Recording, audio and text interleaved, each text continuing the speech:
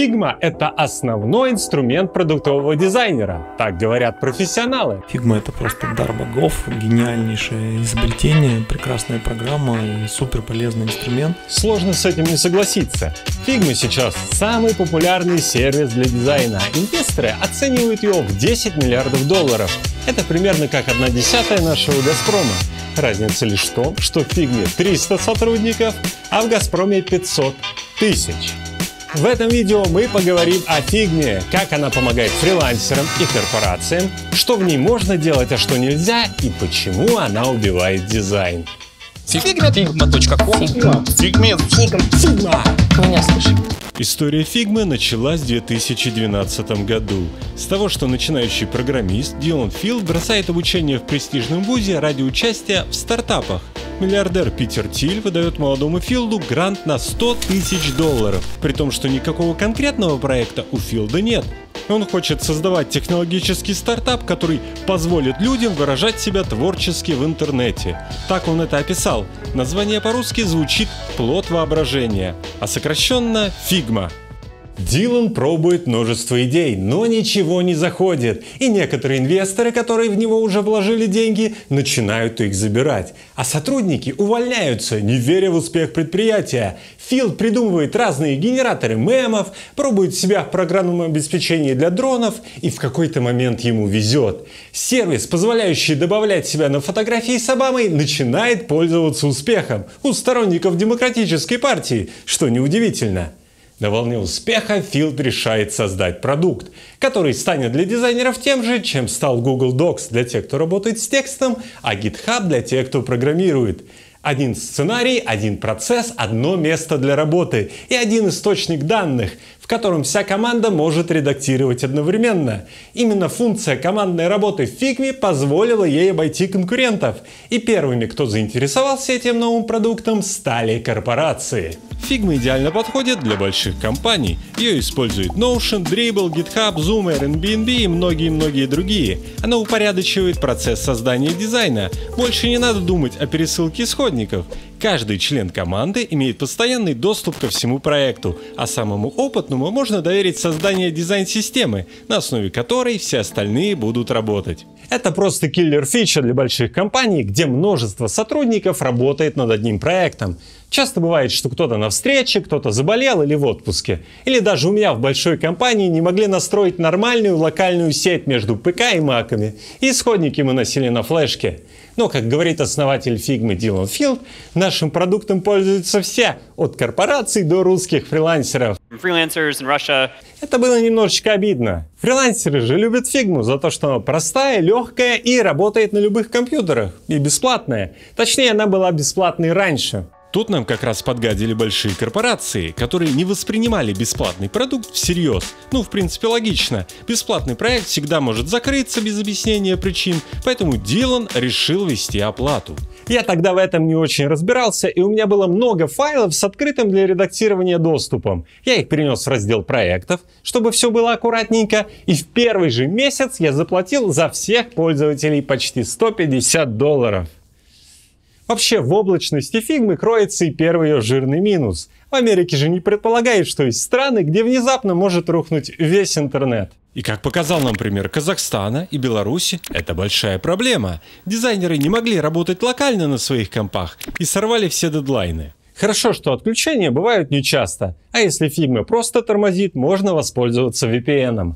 Основная ее проблема в другом. На волне популярности фигмы многим начинает казаться, что для работы дизайнером надо знать только фигму. Фигма намертво связана с дизайном. При поиске на любую дизайнерскую тему всплывает фигма. И почти любой вопрос по дизайну заканчивается а как это сделать в фигме? Фигма только один из инструментов, пусть и самый популярный. И мы тут подходим к самому главному вопросу. В случае с фигмой Точно так же, как и в случае со скетчем, Photoshop должен быть в соседнем окне открыт, потому что снаряды откуда-то подносить надо. И в фигме ты точно так же э, ничего нового сам практически не нарисуешь, все время тебе нужно откуда-то это брать. Фигма отлично подходит для создания дизайн-систем и проектирования сайтов и приложений на их основе, особенно если вы работаете в команде.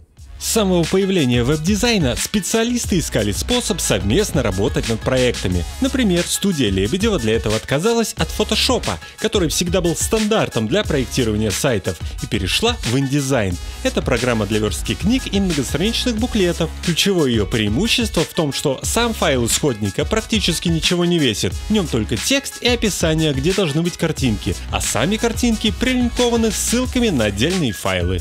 Таким образом, один дизайнер мог разрабатывать и контролировать общий стиль сайта, другой рисовал иллюстрации и баннеры, обрабатывал фото людей, ну а новички делали простые внутренние страницы и адаптивы.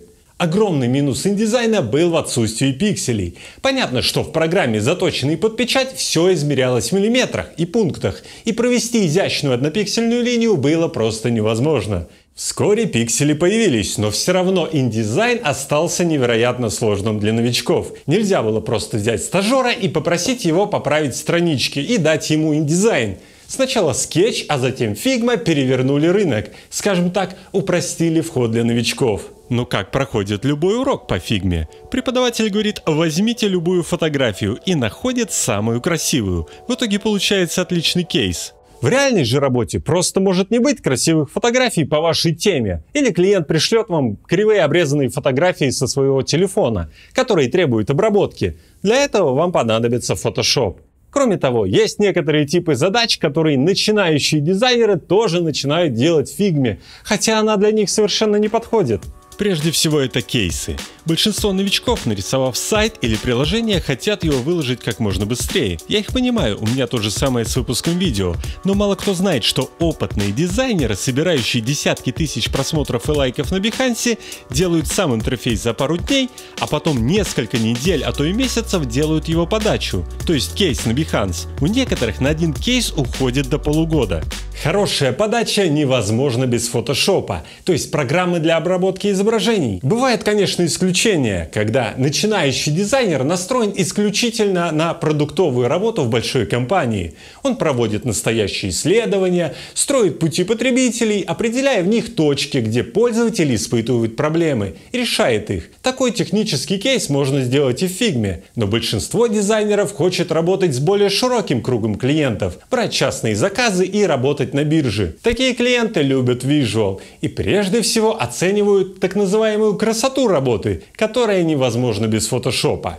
Насколько бы ни был хорош ваш интерфейс, то есть сам сайт или приложение, вам понадобятся фотографии людей, которые придется обрабатывать, отрезать от фона или сделать коллажи. Между тем, одна из главных фишек, которая делает подачу интересной, это показать вашу работу в реальной обстановке. Графические дизайнеры любят показать текстуру материала, загнутые страницы или немного смятые плакаты. Такая подача обогащает визуальную часть работы, добавляя деталей в скучные прямоугольники. Некоторые веб-дизайнеры тоже, кстати, рисуют страницы, особенно адаптивные, как длинную согнутую ленту. Даже если вы не хотите так заморачиваться и просто нашли в интернете мокап, например, iPhone в интересном ракурсе, вам все равно придется подгонять под него ваше изображение.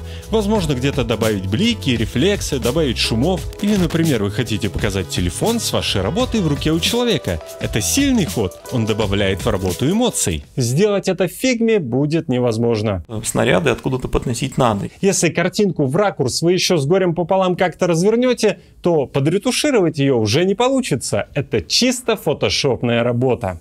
Дальше. Анимация. Безусловно, анимация – это отличный способ оживить сайт или ваш кейс на Behance, а может даже добавить вау-эффекта. Но вот в чем проблема. Figma не предназначена для анимации, да и не нужна она в большинстве случаев. Как я уже говорил, опытные дизайнеры делают кейс несколько месяцев, а некоторые новички успевают по несколько в неделю. Новички экономят время на поиске хороших референсов, то есть примеров, похожих по теме сайтов, экономят время на поиске фотографий, даже на самой верстке текстов экономят. Тут под версткой я понимаю расположение текстовых блоков, размер заголовков, межбуквенные, межстрочные, а не то, чем занимаются программисты. Так вот, на всем важном сэкономили, сайт выглядит на троечку, но анимацию залепили. Анимация это как вишенка на торте. Когда все отлично, все ровно, выверено, можно сделать. Но это совершенно не обязательно. Один из самых простых вау-эффектов – это видеофон. Обычно это какой-то ролик из интернета, который вы немного нарезаете, сокращаете и, возможно, затемняете, чтобы на нем хорошо читался основной текст и кнопки. В фигме добавить видео не получится.